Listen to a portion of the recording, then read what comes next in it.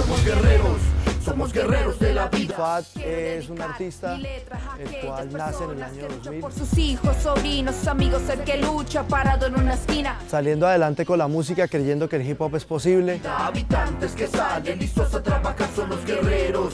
y combinarla con diferentes géneros musicales para llegarle a todo el mundo y llevar un mensaje que valga la pena para los jóvenes. Somos guerreros de la vida.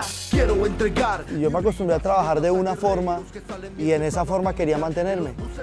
Con las nuevas aperturas tecnológicas con lo que se hizo con el Ministerio TICS, fue diferente, fue algo nuevo. Y como fue nuevo, fue llamativo y, y ha sido muy bueno para mí. Y el rapero que guerrea con el fraseo brutal. O sea, uno no se imagina el, el campo tan amplio que uno gana con la tecnología y con todas las bases que se dan con eso.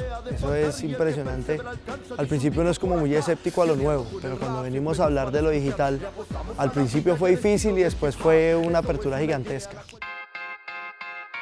Mi certificación como empresario digital, primero fue la invitación directamente por la Cámara de Comercio con el Ministerio de TICS, quienes eh, tomaron en cuenta los nuevos negocios, las nuevas ideas y más nos enamoramos de este cuento de la tecnología y el Internet.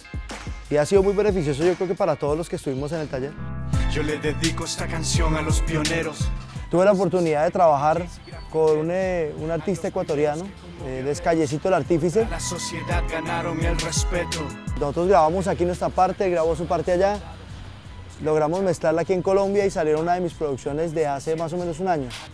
Y ahorita estamos en proceso de hacer una- un nuevo tema para la nueva producción de él allá en Ecuador. Yo le dedico esta canción a los soldados. Quiero invitar a todas las personas que están escuchando en este lugar.